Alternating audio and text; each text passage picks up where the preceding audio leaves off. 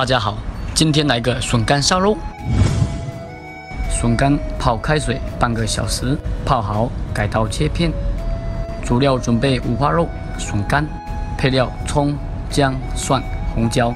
热锅下油，下五花肉炒至出油，下葱姜蒜煸香，悄悄下笋干，中大火爆香。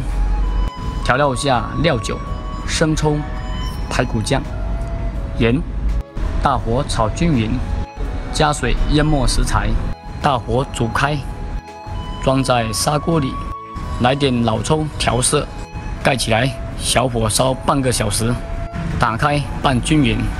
每天分享详细美食，已经坚持三年了。喜欢做菜的别错过。出锅前撒葱段、红椒。